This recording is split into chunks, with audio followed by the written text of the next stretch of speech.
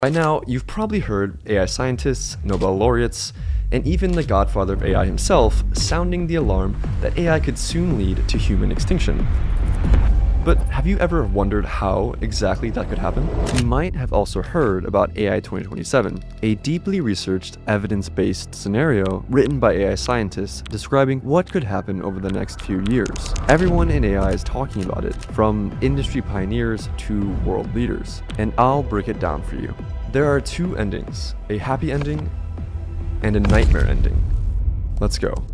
OpenBrain releases their new AI personal assistant, it handles complex tasks like book me a trip to Japan. The agents are impressive in theory and in cherry picked examples, but they're unreliable in practice. Social media is filled with stories of tasks bungled in particularly entertaining ways. OpenBrain makes a fateful decision. They refocus their entire operation toward creating AIs that can do AI research.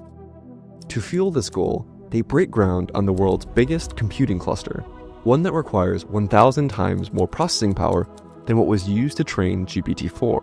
Their logic is simple. If AI itself can accelerate AI development, creating thousands of automated researchers who can work endlessly without breaks, progress won't just increase, it will explode.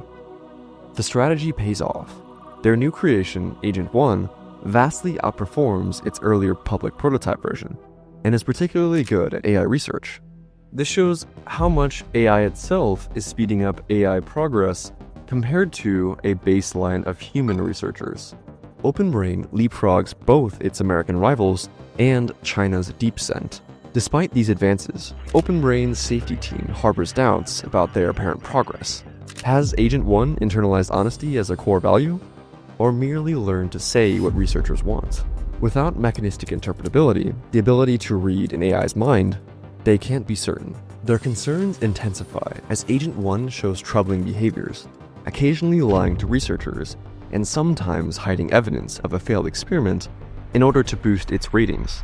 But these examples are subtler than the previous infamous incidents, like Gemini telling a user to please die, or Bing Sydney trying to convince a New York Times reporter to leave his wife.